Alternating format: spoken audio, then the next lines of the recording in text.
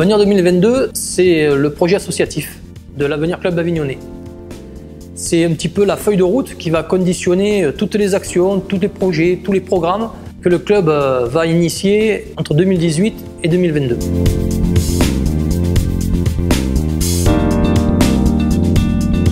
Alors, le volet sportif du projet Avenir 2022 est simple. L'idée, c'est de développer la qualité de, nos joueurs. À partir d'un constat, on a vu qu'on cherchait faire de l'élite à travers de la compète sans travailler. De ce fait, nous avons décidé de mettre en œuvre une idée, une pédagogie de travail différente de, ce qui se fait euh, actuellement. C'est de décloisonner la notion d'équipe. Voilà, on va essayer de faire en sorte de former euh, des collectifs et qu'un enfant euh, soit en contact permanent avec tous les enfants de sa catégorie et pas simplement avec les quelques joueurs de son équipe. On a défini trois catégories d'apprentissage, le foot animation qui va des U6 au U11, le foot préformation qui va des U12 au U15 et le foot compétition à partir des U16. Nous unissons nos forces puisque euh, l'idée c'est de partager euh, ce projet avec tous les éducateurs, tous les parents et tous les joueurs du club, ainsi que tous les dirigeants. On améliore le climat d'apprentissage chez l'enfant, on développe la qualité de travail euh, des séances afin que l'enfant puisse voir et surtout apprendre toutes les notions du foot, avec et sans ballon.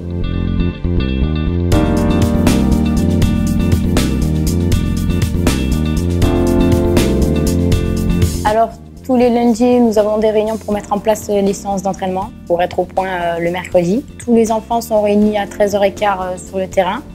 On fait l'appel des enfants et on, les répartit par groupe. Du coup, chaque éducateur part avec un groupe d'enfants. On a à peu près 10 enfants par, par groupe. Et tous les enfants font tous les ateliers durant la séance. Du coup, ça permet aux éducateurs de voir l'évolution de l'enfant et les enfants de connaître tous les éducateurs. Une idée aussi qui est importante, c'est que tous les enfants euh, bénéficient du même contenu. Il y a une unité de temps, puisque tous les enfants du même âge s'entraînent à la même heure. Il y a une unité de lieu, puisque tous les enfants du même âge s'entraînent au même endroit. Euh, on sort du, cadre euh, je viens dans une équipe, je m'entraîne, mais je viens dans un groupe de travail pour progresser, pour me développer. Donc ça s'enchaîne, ils finissent la séance, ils ont touché un maximum de ballons, ils ont fait beaucoup de matchs, ils ont appris ou ils ont vu pas mal de, choses. Et du coup, euh, à partir du moment où ils finissent l'entraînement et qu'ils sont ravis, ben déjà on a un taux de présence aux entraînements qui est très élevé.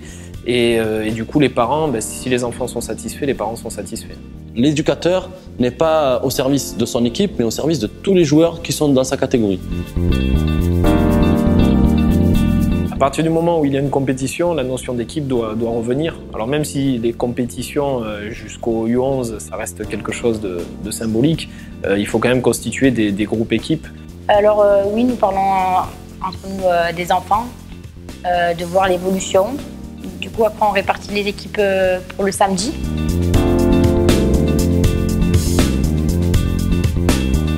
On a, on a créé une équipe féminine qui joue contre les garçons, donc en mixité en U9 et une équipe U15 qui joue évolue en honneur en D3 à 11 contre les garçons, mais qui est un mixte. Il y a des garçons et des filles, mais majoritairement des filles. Et les filles, les week-ends, elles ne sont pas du tout ridicules face aux garçons. On gagne même des matchs. C'est là qu'on voit que d'introduire les filles dès le plus jeune âge avec les garçons, ça, ça les fait évoluer tout au long de, leur euh, carrière footballistique. Et c'est ce qu'on voit dans l'équipe de France féminine. Hein. La majoritairement, majoritairement les filles qui sont professionnelles maintenant, c'est elles ont commencé avec les garçons. C'est pour ça qu'à Avignon, on fait ça, d'introduire le football euh, en mixité dès le plus jeune âge. Et ça ne peut que faire progresser le football en général. Alors dans le volet sportif du projet à venir 2022, euh, il y a une nouveauté cette saison, ça s'appelle le centre de perf. Donc le centre de perf, c'est une séance d'entraînement qui a lieu le mercredi de 15h à 17h, qui se veut qualitative et ludique, qui est proposée aux garçons et aux filles du club qui sont dans les catégories U13, U14, U15, U16.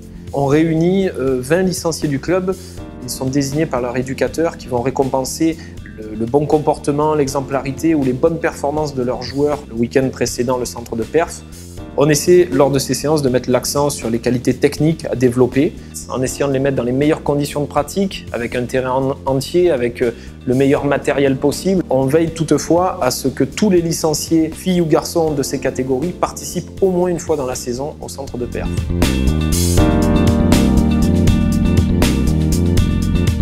le label, le, euh, Elite euh, qui nous est décerné, décerné par la Fédération française de football, Ligue Méditerranée et District Grand Vaucluse. Ça récompense les clubs amateurs. Pour nous, euh, ce label, c'est euh, le fruit d'un travail de neuf années. La CA a eu euh, les anciens labels école de football, qui date de quelques années. Ils ont eu le label école de foot au féminin aussi. On voit que le club est structuré et a progressé au fil des années. Le label Espoir, Excellence et Élite sont départagés par des points. L'année dernière, il n'y a eu que deux clubs, donc ce n'est pas un label qui est quand même distribué comme les petits bons points à l'école.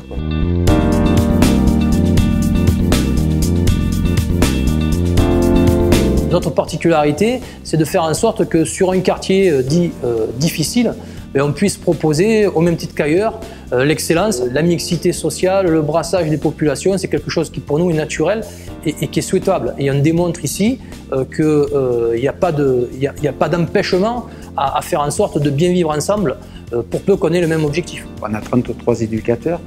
Je voudrais mettre à, l'honneur deux éducateurs qui ne sont plus là. c'est Alain Basselier, et, Bernard Goudon qui nous ont euh, donné une impulsion.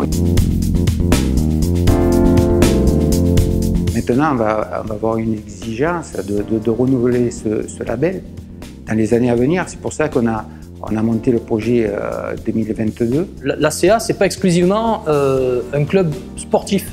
C'est aussi un club dans lequel il y a des relations qui se nouent entre les adhérents. Et c'est un petit peu tout l'intérêt du projet social. C'est ce qui fait sens.